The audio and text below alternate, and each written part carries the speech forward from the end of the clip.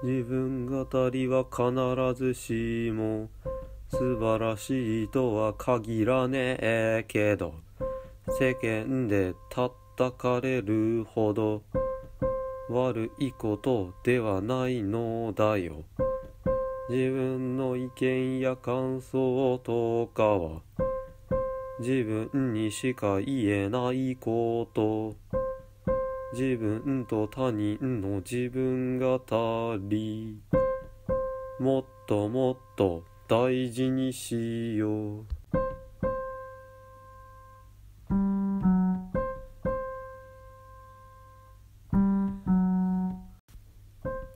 知人との雑談でもお互いの自分語りが会話を進めていく。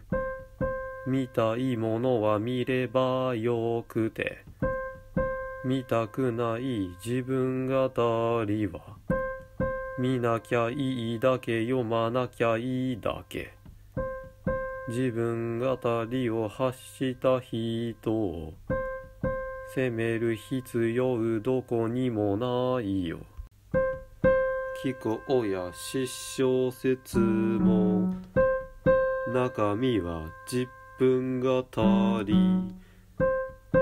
雪国や奥の細道。あれも自分語り。